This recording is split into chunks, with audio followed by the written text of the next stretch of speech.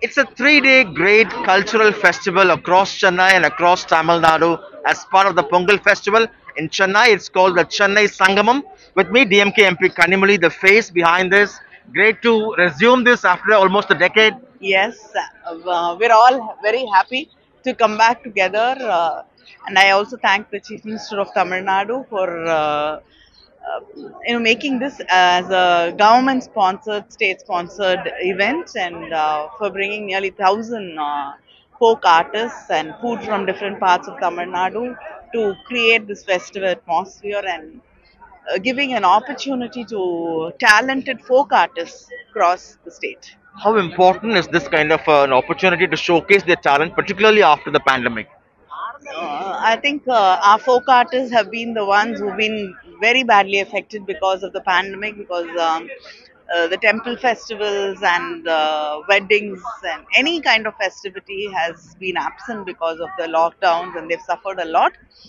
And uh, this kind of festivals will revive, you know, people's interest in folk art forms and uh, celebrations, and especially when it uh, is Pongal and uh, folk art forms are about uh, the lives of common simple people uh, it it uh, makes more meaning and it uh, is closer to the heart to celebrate it with folk art festival Food, culture, and art, is it?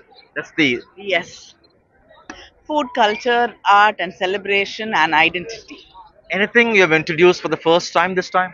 Many folk art forms are uh, have been introduced for the i mean uh, which have never participated in this have uh, you know I, they're uh, part of the chennai sangamam this year and uh, food from uh, you know different parts of uh, tamil nadu who would not come here before have already come Lastly, it was a spectacular show. thank you What went behind this?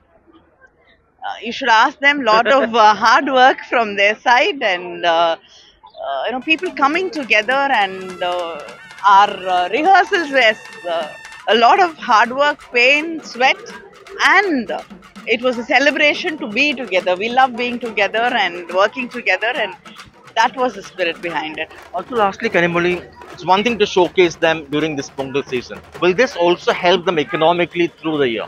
Definitely, uh, I'd like to thank the Chief Minister for uh, raising the remuneration to 5,000 rupees, which is, uh, you know, uh, For each artist, is it? yes, uh, for each, uh, you know, participant, uh, for each folk artist, it's been raised to 5,000 rupees, and uh, that sets the standards for the future. And uh, also, uh, it's just not going to stop with one festival. The government has promised to hold these festivals across the state around the uh, year. See for a second, that was Miss Kanimozhi, DMK MP, talking to us in Chennai with Suresh Sam Daniel, Find the TV.